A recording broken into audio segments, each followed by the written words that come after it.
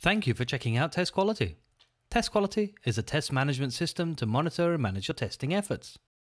With a sleek and intuitive interface, you can easily author or edit tests, execute tests in a test run, arrange your tests into cycles for repeat operations, and analyze the results of the test executions. When you first open TestQuality, you'll be asked to create a new project, then directed to the Tests tab to create your first test. You can see I already have some example tests, where I can rearrange the run order, subscribe, or filter the tests. Let's have a look at a test in more detail.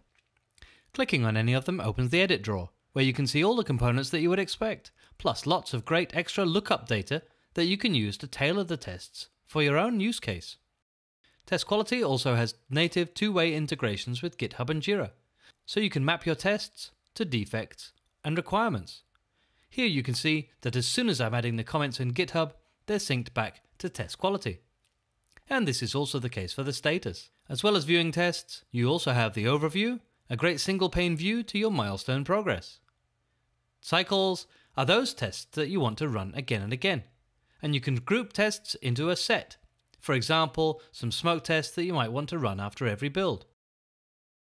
It has the same great interface with a test list for each cycle, filtering, the command menu for bulk operations, with runs and defects that are connected to the cycle.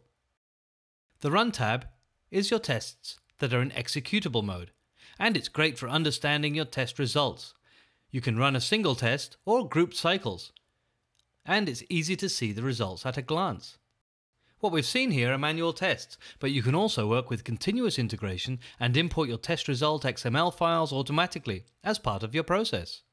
Lastly, in the Analyze section, you can evaluate your testing efforts and quickly see the value of your test quality, growth, reliability, or flakiness, and requirements mapping for your project. To see more and look at many other great features, join us at testquality.com and sign up for free.